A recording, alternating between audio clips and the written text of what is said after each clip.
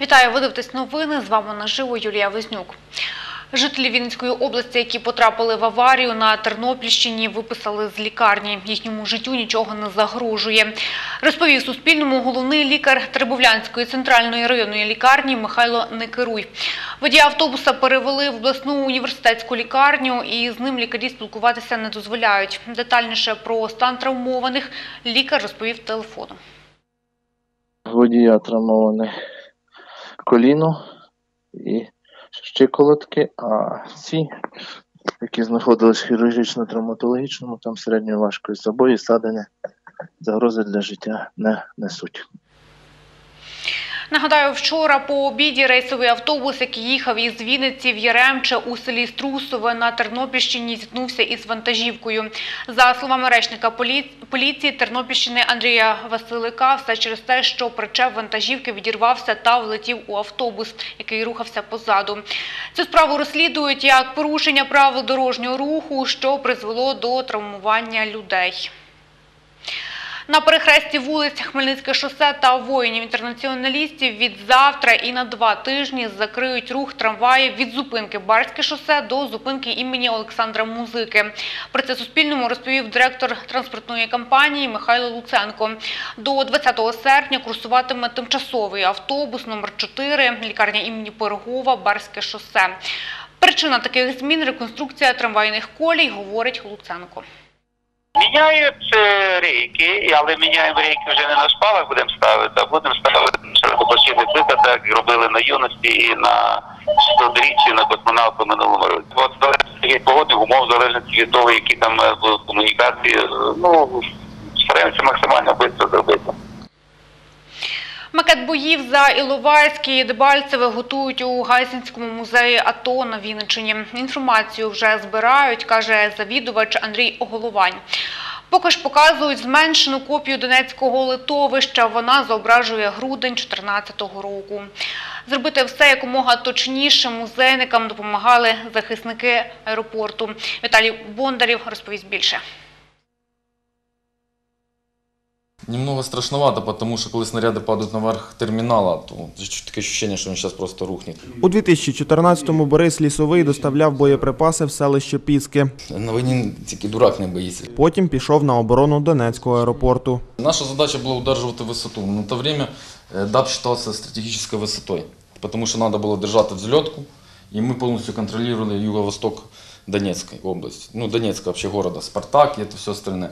Задача була удержувати висоти, удержувати здання, щоб не заходили незаконні бронеформування. Тобто ж ми удержали підвал, перший, другий і половину третього етажа на той момент. Про те, які завдання виконував та в яких точках кіборг Борис Лісовий показує на макеті у зменшеному розмірі. Ми в одному були вже в кольце, у нас тільки одна отрізала дорога життя. От вона.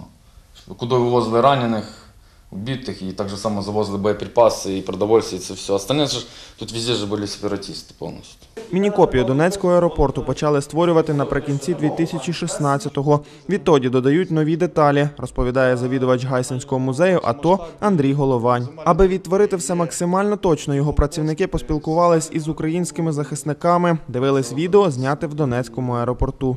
Допомагали нам е, хлопці, які безпосередньо перебували в Донецькому аеропорту, щоб ми могли по максимуму правдиво відобразити е, всю картину на цьому макеті. Ну, тут зображена у нас зимня діорама. Е, в- точному масштабі робилася спутникова Google-сйомка. На макеті висвітлені бойові дії грудня 2014-го. За словами кіборга Бориса Лісового, всі позначки деталізовані дуже чітко. На тот момент тут стопроцентово все есть. Ну, конечно, все ну, э, до мельчайших подробностей нет, а так самое главное тут все показано повністю. Тобто чоловік, який навіть от перший раз його бачив, може поняти, що от є, є вежа, є термінали, є дорога життя, пожарка, де Гіві сидів, от самоліт розбитий, де міномет їх не стояв, тут снайпера їх не... Ну, тобі ж макет создан на 100%. Крім макету Донецького аеропорту, тут іще тисячі різноформатних пам'яток російсько-української війни. За словами Андрія Голованя, уже найближчим часом працівники Гайсинського музею АТО на макеті планують відтворити події Іловайського та Дебальцівського котлів. Віталій Бондарів, Володимир Черніков. Новини на Суспільному. Вінниця. Чи можна побудувати будинок за допомогою 3D-принтера і як працює лазер, дізнавалися учасники майстер-класу, які провели у відділі наукових досліджень Вінницького молодіжного центру «Квадрат». Участь у ньому взяли діти учасників АТО. Перед тим, як познайомити дітей з роботою 3D-принтера, інженер Олег Сидорук розповідає історію виникнення перших таких машин. Додає, завдяки такому принтеру можна надрукувати запчастини до автівок, літаків, ракет, протези людських рук. Наразі, каже, ці технології стають доступнішими. Кожна третя дитина сходить з, айфоном, який там коштує близько 500 і навіть тисячі доларів. А за ці кошти можемо придбати 4 3D-принтера. Да, тому це, в принципі, вже більш-менш доступно. Можуть придбати школи на клас і показувати ну, уроки праці, проводити над створенням деталей. Уроки інформатики також робити більш інформативними, щоб е, діти вчилися програмувати принтери, дивитися його роботу. Насправді мені дуже сподобалось всі ці механізми, 3D-принтери. За ними буде майбутнє. Мене це дуже вразило, навіть привело е, в шок. Тому що ну, ніколи не думала, що будуть технології друкувати органи людські. У Вінці розпочинають працювати учасники резиденції мурал-арту Він Арт Сіті. Сьогодні почали встановлювати конструкції. У п'ятницю художники почнуть розмальовувати будинки, розповів керівник проекту Олександр Нікітюк. Загалом до Дня міста планують створити п'ять стінописів. Такий малюнок вінницька художниця Марія Дитинюк планує зобразити на будинку по вулиці Соборній.